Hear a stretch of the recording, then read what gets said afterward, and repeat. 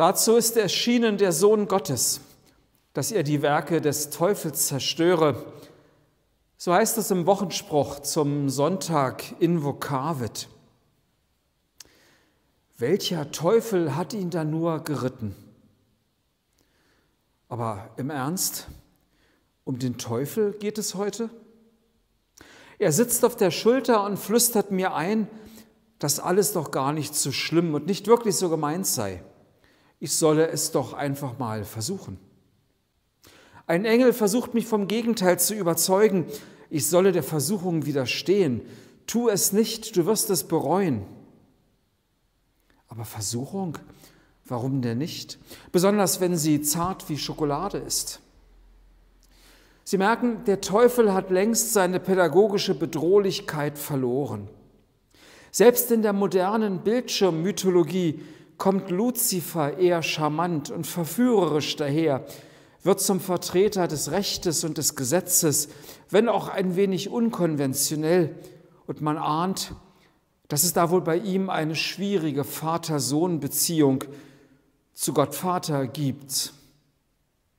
Ich fühle mich zugleich auch ein bisschen an meine Kindheit erinnert. Da war das Teufelchen im Kasperle-Theater auch nicht wirklich eine bedrohliche Gestalt.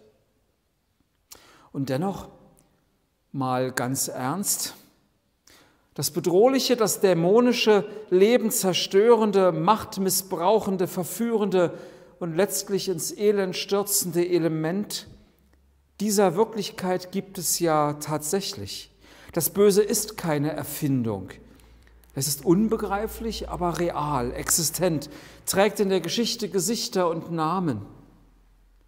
Mag die Feststellung, dass jemanden der Teufel geritten haben muss, noch harmlos sein. Die Gegenwart des Bösen und seine Macht über Menschen ist es nicht.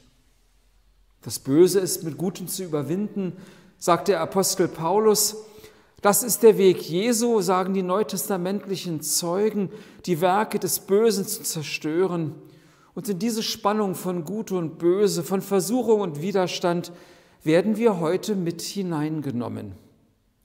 Seien Sie also herzlich gegrüßt zu dieser Andacht hier aus der Dorfkirche, der Fachwerkkirche in Altlüdersdorf an diesem ersten Sonntag der Passionszeit, der ernst macht mit dem Eingeständnis, dass nicht alles gut ist, dass Leiden real ist und darauf wartet, überwunden, verwandelt zu werden. Wir warten auf Gottes Hilfe und feiern Andacht im Namen Gottes des Vaters und des Sohnes und des Heiligen Geistes, denn unsere Hilfe steht im Namen des Herrn, der Himmel und Erde gemacht hat. Amen.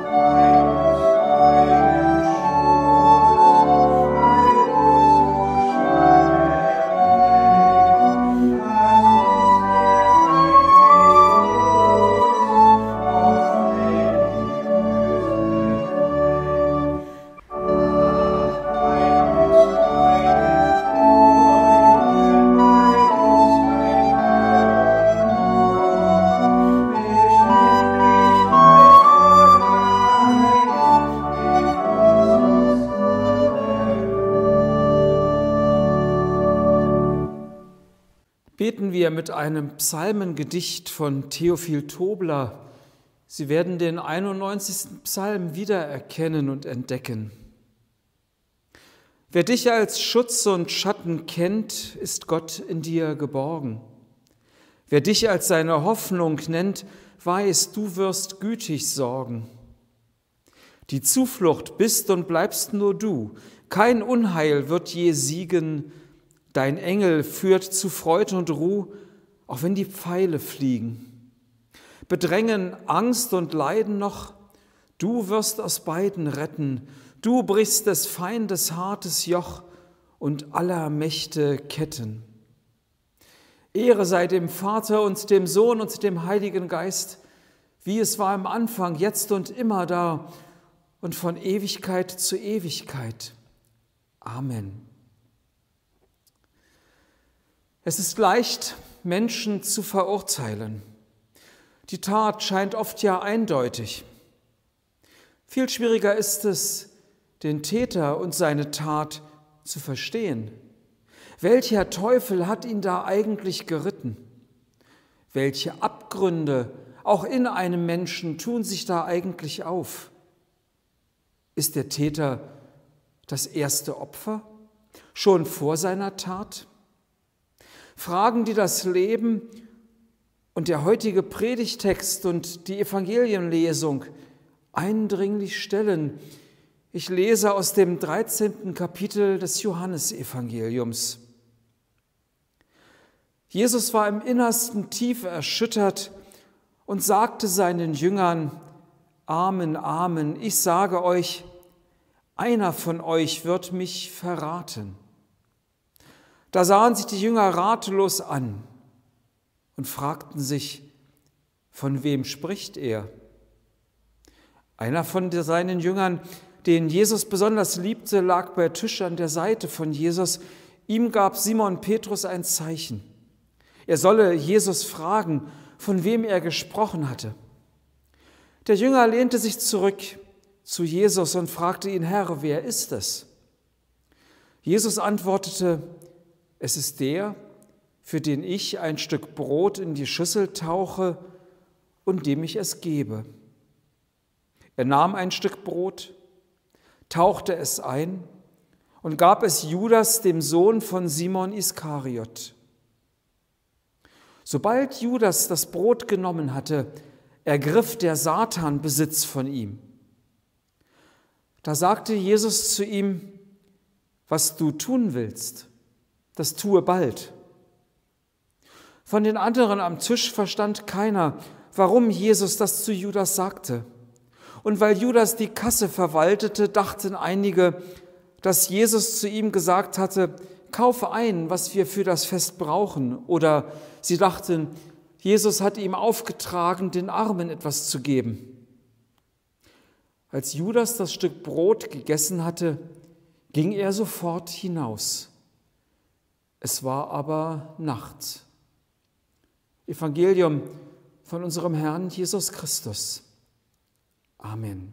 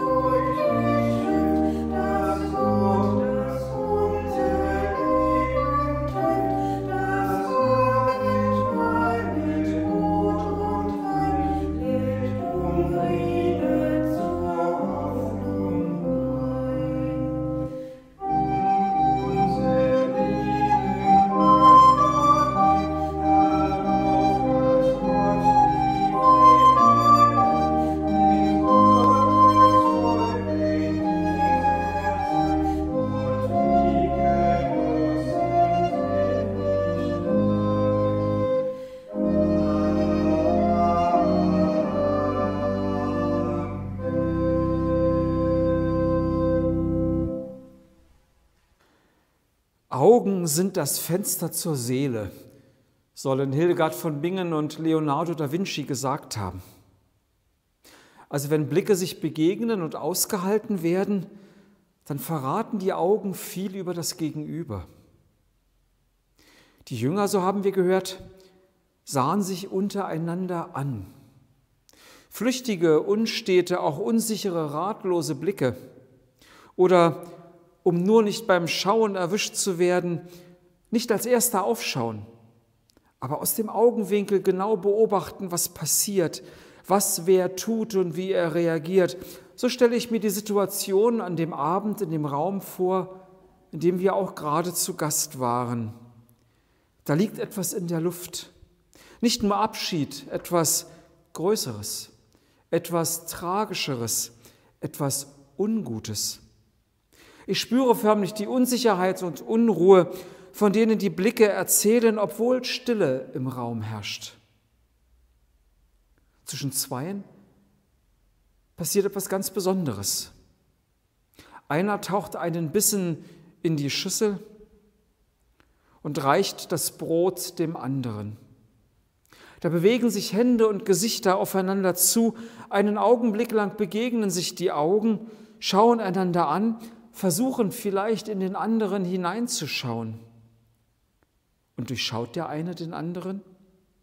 Was sieht der Verräter in den Augen seines Opfers?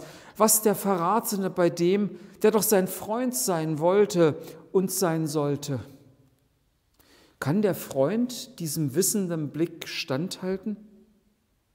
Manchmal reicht ja der eine Augenblick, um zu erkennen, zu verstehen, was da geschieht. Reichen die Blicke, die sich flüchtig nur treffen. Ich stelle mir also vor, wie Jesus Judas anschaut, den Jünger, den Wegbegleiter, den Freund. So hat er auf Menschen immer schon reagiert. Er hat hingeschaut und zugehört. Er hat wahrgenommen, Stummen eine Stimme mit Namen und bedeutungslosen Ansehen geschenkt. Jetzt schaut er Judas an. Er schaut in ihn hinein.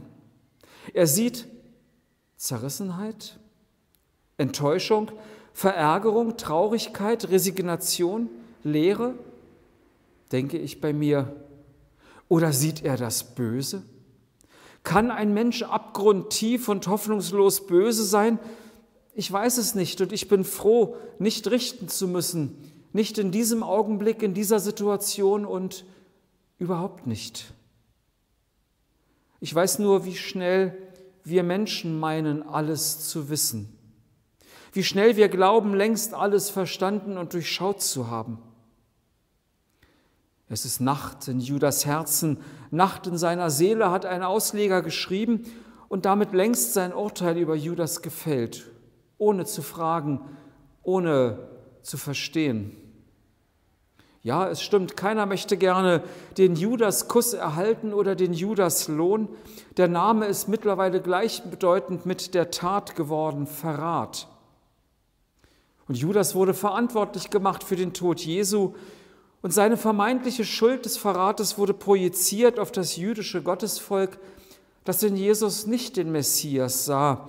Judas wurde gleichbedeutend mit jüdisch, sein Name stand für das Volk, das den Hass durch die Geschichte hindurch und immer noch realen Gestalt von mörderischem Antisemitismus erfahren hat und erfährt. Da ist es das abgrundtief Böse, aber nicht zuerst bei Judas sondern bei denen, die hassen.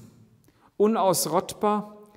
Hoffentlich wird Antisemitismus nie widerspruchslos hingenommen, allein schon dadurch, dass viele wegschauen, den Blick senken, nicht wahrhaben wollen, was sich da vor ihren Augen abspielt, welche Abgründe sich da auftun und was geschieht von Mensch zu Mensch, ohne dass alle einander auch wirklich als Menschen begegnen.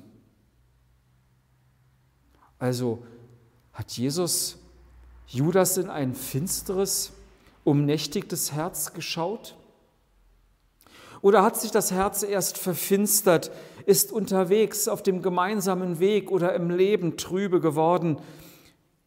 War der Blick Judas längst verschlossen, sodass er leuchten und Liebe und Zuwendung, gar Vergebung nicht mehr wahrnehmen konnte? Mal ehrlich, wie lange halten Sie einem Blick eigentlich stand? Es hängt wohl auch davon ab, ob ich mich verstanden und angenommen oder beobachtet und durchschaut fühle. Meine Seele soll kein offenes Buch und meine Augen keine Tür zu meinem Innersten sein. Und doch wünsche ich mir zugleich nichts mehr, als dass einer lesen kann, was in mir geschieht und wahrnimmt, was mich bewegt, auf mich aufmerksam wird, ohne dass ich mich melde, dass einer mich im Innersten berührt, ohne dass ich mich gleich entlarvt fühle. Jesus kann mit seinem Blick ganz bei anderen bleiben, so dass andere es zulassen können.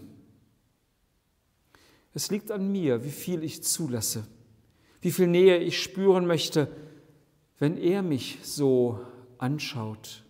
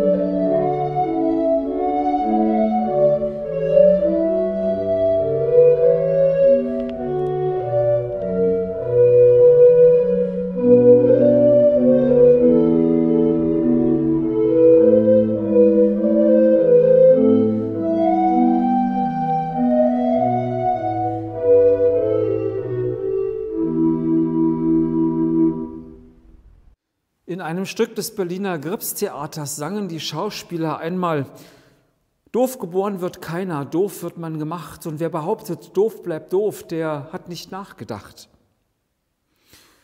Übertragen auf unsere Geschichte, ist Judas nun hoffnungslos und von Natur aus böse?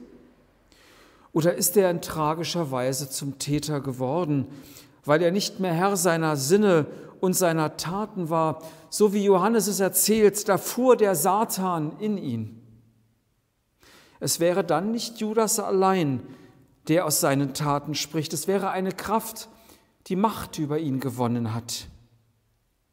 Vielleicht ist es ja allein schon die Verführung, Macht über Leben und Tod zu haben, der Judas erliegt.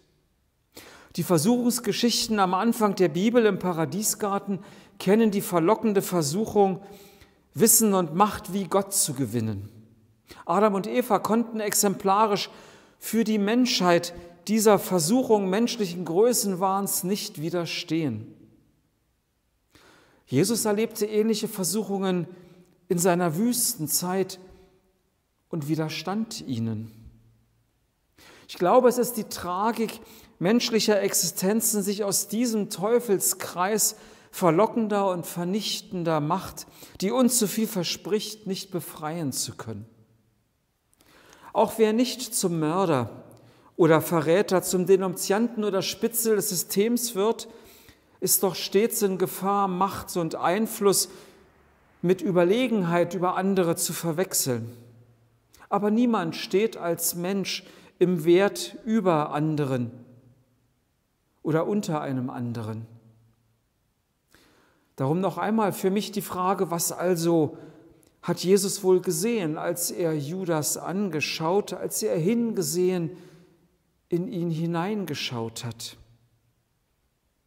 Ich bin mir sicher, er hat einen liebesbedürftigen, vergebungsbedürftigen, erlösungsbedürftigen Freund angesehen und verweilt bei ihm in diesem intimen Augenblick, in dem alles, was kommen wird, wie ein offenes Buch vor ihm liegt. Und er hält aus mit einer Geste des Vertrauens und der Sorge und der Freundschaft. Er taucht den Bissen ein und gibt ihm zu essen. Jesus kann doch nicht mit einem brechen, mit dem er das Brot bricht. Er kann also auch nicht mit mir brechen, wenn ich doch an seinem Tisch Platz nehme, von seinem Brot esse, aus seinem Kelch trinke. Das bedeutet doch dieses für dich, Brot für dich, Kelch für dich. Jesus bricht nicht den Stab über uns. Der Verrat fängt nicht erst da an, wo er jemanden ausliefert. Wie oft habe ich schon Hilferufe zwischen Sätzen, Berührungen und Blicken ignoriert, übersehen oder überhören wollen, überfordert, erschöpft oder einfach nur zu sehr bei mir und in mir gefangen. Ich werde die Frage nach dem Warum und Wozu bei der Tat Judas nicht beantworten können. Aber ich sollte sie um der Gerechtigkeit willen grundsätzlich stellen um den Menschen hinter dem Bösen wahrzunehmen. In jedem und in jeder verbarg und verbirgt sich doch auch die Möglichkeit, die ganz andere oder der ganz andere zu sein. Das mag das Geheimnis der mythischen Rede vom Satan sein, der von Judas Besitz ergreift, dass wir mehr sind als nur unsere Taten und nicht gleichgesetzt werden dürfen, so einfach, schlichtweg. Das ist nicht wirklich Judas, der verrät, der ausliefert, der den Tod verursacht. Dem verletzbaren Judas komme ich näher in dem Augenblick, in dem er nicht mehr leben kann und leben will, mit dem, was er zu verantworten hat, da begegnet mir der Verzweifelte, Judas, der Mensch, der sich selbst aufgibt. Dabei hätte er sich an den Blick Jesu erinnern können. Da war ein Ausweg aus der Schuld. Jesus sah doch das Gotteskind, das Ebenbild in ihm, das mehr ist als die Tat. Glaube, das unterscheidet Jesus von uns. Er hat die Größe, auch im Bösen das Gute zu sehen, im schuldig gewordenen die verpassten Chancen und Möglichkeiten, im Verurteilten den Liebenswürdigen. Und doch verhindert er das Unheil nicht. Er, der es doch hätte abwenden können. Er lässt Judas gehen und sagt ihm, tu, was du tun willst. Das klingt für mich aber auch wie, tu, was du tun musst. Der Mensch ist frei und Herr seiner Taten, und er ist zugleich in der Gefahr, gefangen zu bleiben in schicksalhaften Verstrickungen unglücklichen Umständen ausgeliefert, den verführerischen Kräften, die ihm Macht und Bedeutung verheißen und ihn nur in Abgründe stürzen. Das ist allerdings eine trügerische Bedeutung, die Menschen meinen, in diesem Augenblick in der Macht über andere zu spüren, wie ein Raub an sich gerissen und nicht Bedeutung voller Gnade als Geschenk und Auszeichnung wie das Ansehen von Gott her empfangen. Das Böse allerdings, das ist real. Ehe die Menschen anfingen zu fragen und zu verstehen, was da eigentlich passiert, spürten sie bereits, was mit ihnen geschieht, spürten das Verhängnis, das zum Leben dazugehören scheint, wie die Liebe, die ja auch möglich und stärker als das Böse ist. Jesus hat sie, die Liebe, gelebt und so die Macht des Bösen entlarvt, aber auch durchbrochen. Das Böse ist real, damals und heute. Gewalt, Lüge, Hass, Betrug, Angst, Machtmissbrauch, ungerechte Strukturen, sie alle lassen keinen Zweifel daran. Aber Gott, Gott lässt auch keinen Zweifel an seinem Urteil, seinem Plan, seinem Weg. Sein Blick spricht Bände, seine Hände sind ausgestreckt und warten darauf, ergriffen zu werden. Ich würde Judas so gerne verstehen wollen, aber ich kann nur über seine Motive spekulieren. Ich kann aber für ihn hoffen, dass letztlich nicht er aus seinen Taten spricht und dass Gott sieht, wer sich hinter allem verbirgt, besonders hinter dem, was er tut in diesem Augenblick. Und so sei Gott dann auch uns allen gnädig und liebevoll zugewandt. Gnädig und zugewandt können wir dann ebenso Welt und Wirklichkeit auch mit anderen Augen anschauen. Mit Gottes Augen. Mit den Augen der Liebe, die Böses überwindet. Und der Friede Gottes, der höher ist als alle unsere Vernunft, der bewahre dabei unsere Herzen und Sinne in Christus Jesus. Amen.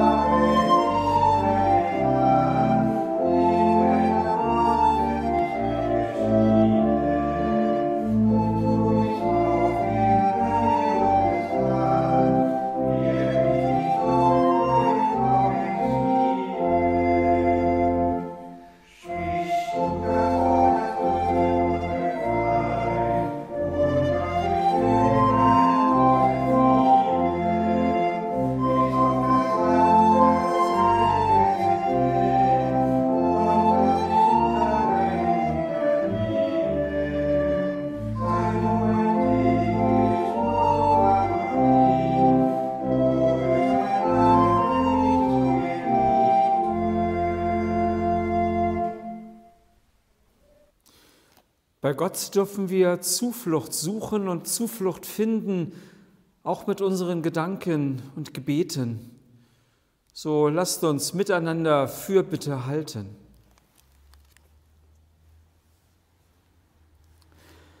Gott unser Vater, an dem Leiden und Sterben deines Sohnes erkennen wir deine maßlose Liebe, die viel weiter reicht als alle Schuld als alle Feigheit und alles Versagen. Du gibst uns Raum, unser Leben so zu sehen, wie es ist, ohne Beschönigung, ohne Ausreden. Hilf, dass uns das gelingt und wir dadurch auch ehrlicher miteinander werden. Gott, wir denken an die, die wir verletzt haben mit Worten und Taten die wir im Stich gelassen haben, als sie uns brauchten, oder die wir übersehen haben in ihrer Traurigkeit.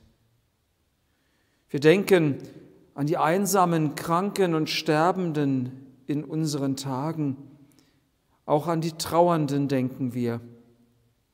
Mach uns Mut, sie um Vergebung zu bitten, wo wir gefehlt haben. Und hilfe uns aus unserem Versagen zu lernen. Wir bitten dich auch für die, die uns etwas Schlimmes angetan haben, dass wir unser Herz gegen sie nicht verhärten, sondern bereit sind, auf sie zuzugehen und Klärung zu schaffen.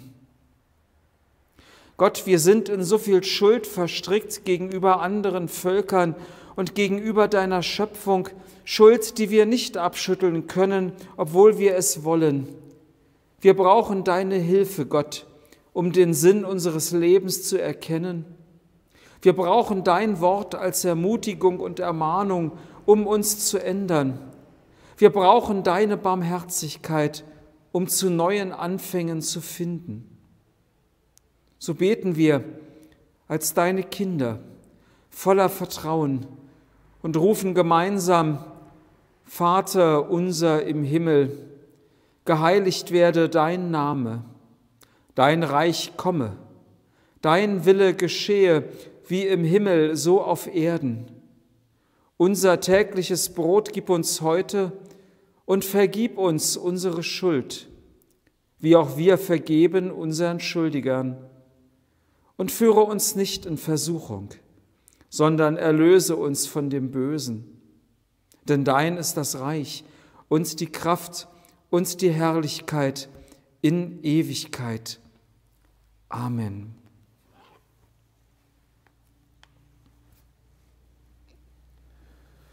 So dürfen wir in diese Woche gehen, die mit dem heutigen Sonntag beginnt, geborgen bei Gott, unter seinem Schutz und Schirm, mit seinem Segen.